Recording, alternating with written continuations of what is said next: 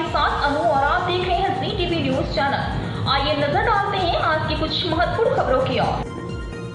उमरिया जिला मुख्यालय स्थित सिंधी धर्मशाला में मध्य प्रदेश शासन के निर्देशानुसार प्रशासन एवं समाज सेवियों के द्वारा सशस्त्र बल वायु वृद्ध दिवस समारोह पर सम्मान कार्यक्रम आयोजित किया गया एवं कार्यक्रम का शुभारंभ माँ सरस्वती के तैलचित्र पर पुष्पमाला अर्पित करते हुए किया गया। वहीं आज पावन पर्व के अवसर पर आयोजित कार्यक्रम के दौरान ज़िले के विभिन्न स्थानों से आए हुए सैनिकों के परिवारजनों को साल श्रीफल से उनका स्वागत किया गया। जहाँ इस अवसर पर अपर कलेक्टर श्री गोविंद सिंह मरकाम सहित संबंधित अधिकारी, कर्मचारी, भाजपा जिलाध्यक्ष दिलीप पांडे, भाजपा नेता शंभू लाल खट्टर समाज सेवी विनोद आहूजा, संतोष चतुर्वेदी, सैनिक कल्याण अधिकारी एवं ज़िले के विभिन्न स्थानों से आए हुए सैनिक एवं शहीदों के परिवार जन सम्मान समारोह कार्यक्रम स्थल पर मौजूद रहे।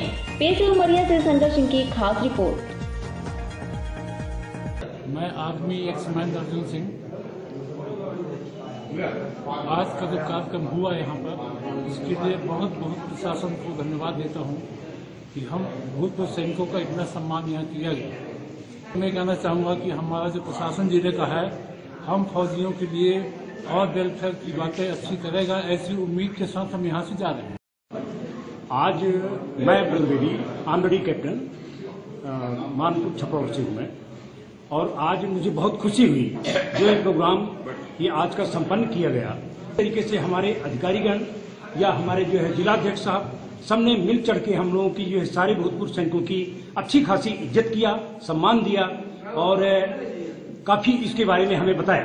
तो हमें इस बात का बहुत खुशी है और मैं इन सबको, अधिकारियों को, अध्यक्ष साहब को, सबको जो है बहुत बहुत धन्यवाद और बधाइयाँ देता हूँ मैं नमन से भूतपूर्व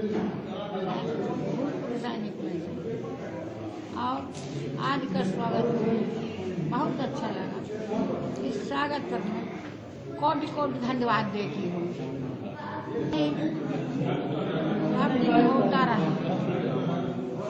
मेहनत करती हूँ। इसी प्रकार से सब दिन हमारा जो स्वागत है, हुआ है।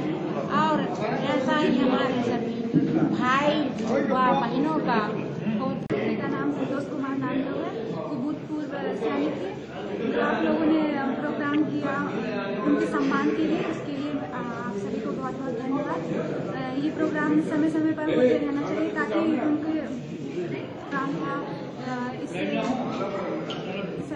हम शासन के द्वारा ये सब प्रोग्राम इसके शासन प्रशासन धन्यवाद करते हैं। यशस्वी प्रधानमंत्री, सम्माननीय नरेंद्र मोदी जी के निर्देशानुसार सशस्त्र बल समारोह के तहत आज यहाँ पर जयंत करियप्पा जी, द्वारा किए गए अभूतपूर्व योगदान और सैन्य क्षेत्र में सैनिकों की कार्यक्षमता को बढ़ाने के लिए किए गए कार्यों को लेकर हम सभी लोगों ने यहाँ पर भूतपूर्व सैनिक और शहीद सैनिकों के परिवारों का सम्मान करते हुए, उनकी देश सेवा और शहादत के लिए उनको नमन करते हुए, उनसे प्रेरणा लेकर समाज में इसी प्रकार के अनूठे संरचनात्मक योगदान देते हुए कार्य करते रहे। इस बात को लेकर आज यह कार्यशाला आयोजित की और सभी का सम्मान। मध्य प्रदेश शासन के निर्देशानुसार वयोवृद्ध सशस्त्र सैनिक दिवस का आयोजन किया गया था, जिसमें हमारे ज़िले के 105 भूतपूर्व सैनिक और 24 उनके परिजन लोग उपस्थित थे।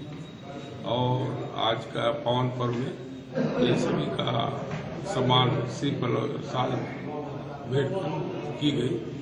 और प्रतिवर्ष अनुसार भी ये लगातार सम्मान शासन के निर्देश